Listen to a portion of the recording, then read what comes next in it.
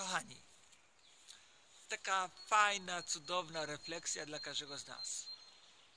Przybywamy na tą ziemię i wybieramy siebie. Wybieramy rolę. Jeden chce być pedagogiem, drugi chce być tylko dzieckiem, inny chce być rodzicem, jeszcze inny chce być policjantem, strażakiem, inny chce być nauczycielem, ktoś jeszcze chce być,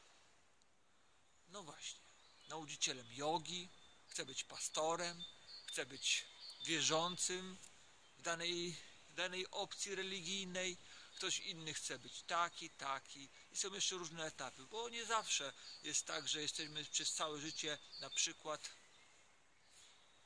nie wiem, górnikiem. Stwierdzamy w wieku 400 lat, że chcemy zostać lekarzem i wybieramy taką rolę. Ktoś wybiera taką rolę, jak właśnie teraz widzicie w tym ekranie, że ja sobie teraz mówię. To taka moja rola na tu i teraz. Jak długo ona potrwa? Nie wiem. Ktoś wybiera rolę bycia oświeconym e, jakimś tam mistrzem duchowym i który naucza. Ktoś inny chce być coachem, ktoś inny jeszcze chce być kimś, jeszcze kimś, jeszcze kimś. Zobaczcie, świat jest pełen ról, pełen naszych wyborów. I teraz w tym momencie to, co tworzymy, to jest wybór nasz. Wybieramy to. I teraz można by było powiedzieć bardziej lub mniej świadomie. Wybieramy bycie w takim ciele, w takim ciele, w takim e, otoczeniu. I uświadomienie sobie tego, że to jest wybór nasz, tworzy, otwiera, otwiera taką furtkę do świadomości, że mamy moc wybierania. Wybierania roli, wybierania tej najlepszej, tej chcianej, tej, e, tej takiej wypływającej z naszego pomysłu, chcieństwa, jakkolwiek, skądkolwiek, z głębokości naszego serca, najlepszej wersji siebie. I teraz to też budzi naszą świadomość, że wybieramy.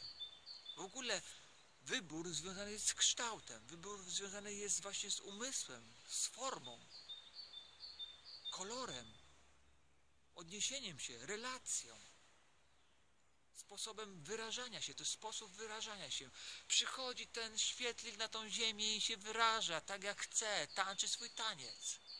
Więc czy to jest taka forma, taka forma, taka forma, to jest narzędzie do tego, żeby przeżywać, doświadczać i zbierać cudowne doświadczenia. Zbierać takie zapisy uczuciowo-emocjonalne, przeżycia, uzupełniać tą bibliotekę duszy poprzez różne wibracje, które doświadczam. Chociaż to nie, to jest takie, taki ciekawy temat na inne spojrzenie, na inną, inną refleksję. Więc, kochani, wybieramy. Dzisiaj, tu i teraz wybieramy. Wstajemy rano, wybieramy. Kogo wybieramy? Bycie sobą wybieramy. A, a to co to takiego jest? to jest wybieranie coś, co ze mną rezonuje. Wow, naprawdę? No i, a i tak to jest wybieranie. Czy sięgniemy po to, czy po tamto? Po prostu sięgamy. I to też jest wybieranie czegoś. Tego kwiatka? A nie, ja nic nie wybierałem, to ja wybieram tą drogę. Ona tak naturalnie płynie i tak dalej. To jest podążanie za czymś. Albo powie się, nie podążam za niczym. Jestem w tym przepływie. Samo życie wybiera mnie. Uuu, to kolejna forma ekspresji do tego naszego tu i teraz.